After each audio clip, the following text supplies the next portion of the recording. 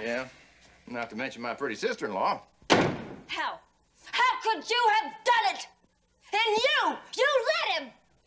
Politics is politics. And that's your excuse? For taking a fine, good man and destroying him?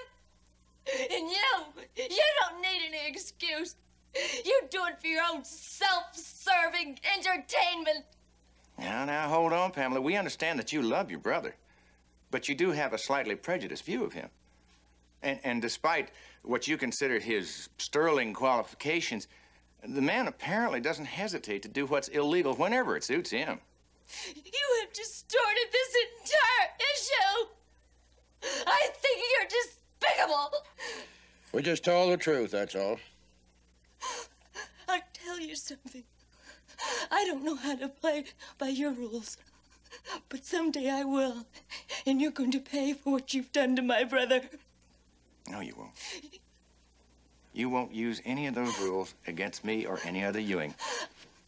You'll do just as we do.